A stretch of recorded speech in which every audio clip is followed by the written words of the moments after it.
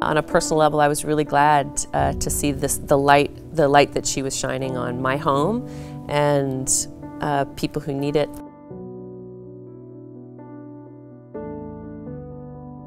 The thing that I that really spoke to me the most was Tanya Talaga's book Seven Fallen Feathers. You know, she she's a really incredible writer. It's a, it's a it's a really gripping book about the epidemic of teens in Thunder Bay who uh, end up dead. I couldn't believe that this wasn't a larger story, that this wasn't grabbing national news headlines all across the country.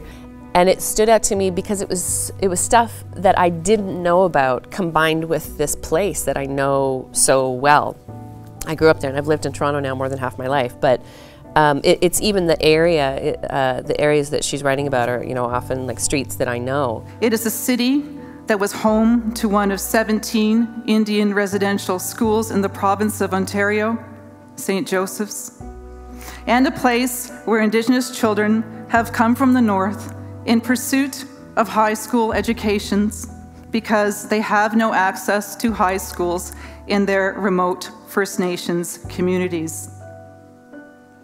And this is a place where they have died in the waters surrounding the city.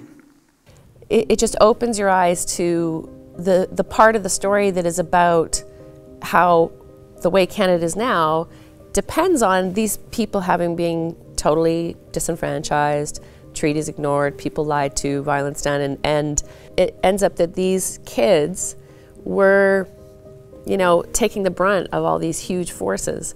Just being there with one word put in front of the other in an incredibly real and incredibly vivid kind of way that was almost hard for me to, to, to read, but you know, really necessary.